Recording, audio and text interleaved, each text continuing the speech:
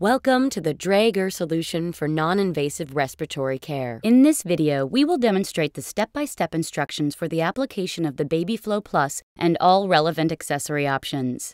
The BabyFlow Plus is available in three different lengths which are classified as sizes small, medium, and large. It is available with the following accessory options.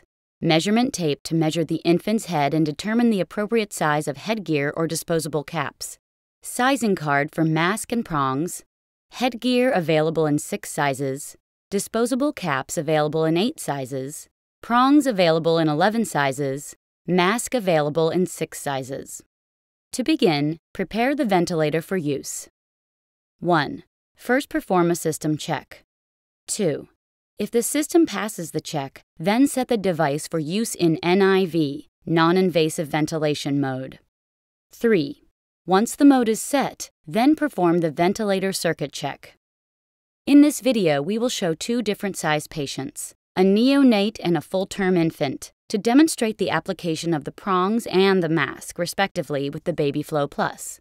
Start by using the measurement tape to check the head circumference of the patient and the sizing card to identify the appropriate prong size. Based on these measurements, choose the best fit headgear and prong option for the infant. Then choose the best BabyFlow Plus length out of the three offerings.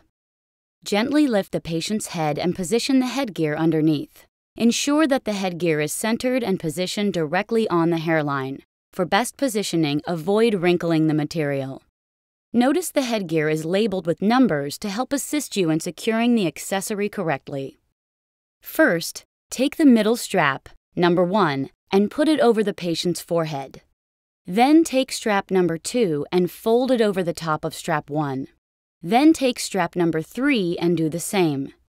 Then fold strap number 1 back and ensure that it sticks firmly with the Velcro. Now connect the prong with the selected BabyFlow Plus. Ensure that you avoid putting pressure on the patient's septum by placing the BabyFlow Plus at an appropriate angle. Take time to adjust and find the best placement. Take the selected prong and thread the number 4 headgear strap through one flap on the prong. Thread strap 5 through the flap on the opposite side of the prong. Position the prong in the nose of the patient and secure the BabyFlow Plus safely on the patient's forehead by using strap 6. Connect the BabyFlow Plus to the breathing circuit.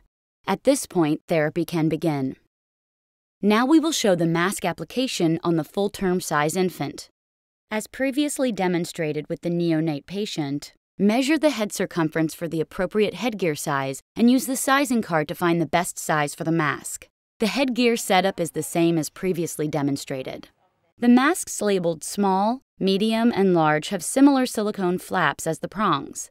The masks for larger babies in size 4, 5, and 6 have green clips for securing purposes. Take the selected mask and thread the number 4 headgear strap through the clip. Now connect the mask with the selected BabyFlow Plus. Ensure that the mask is sitting securely enough to avoid leaks, but not so tight that the fixation will result in pressure marks on the patient's nose. Take time to adjust to find the best angle of the BabyFlow Plus connection point.